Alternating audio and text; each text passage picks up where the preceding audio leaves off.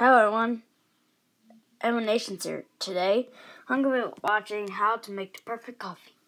How to make the perfect coffee. Okay. You will need coffee beans, All right. full cream milk, Ooh. white sugar, Okay. a coffee plunger, Okay. a measuring glass, Okay. a kettle, Okay. and a coffee mug. Okay. Step one, grind the coffee beans. Grind one cup of coffee beans thoroughly.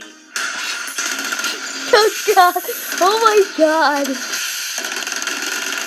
Oh my god! What is he doing? You know, with a shovel.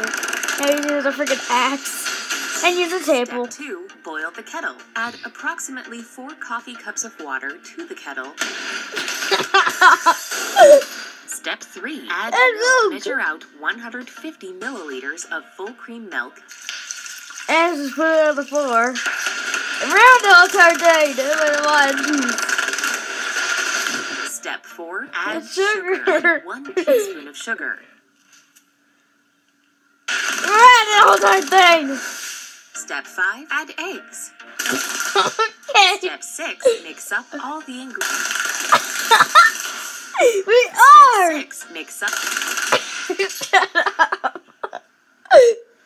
Step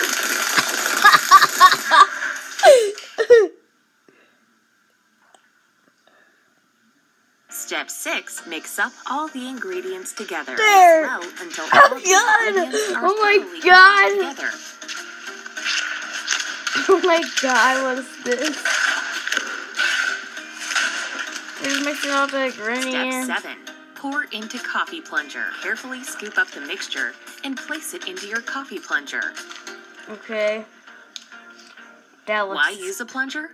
A coffee plunger allows the coffee to brew without being exposed to pressure or the boiling process. This results in a smooth, crisp taste that everybody loves. Step 8 Serve and enjoy.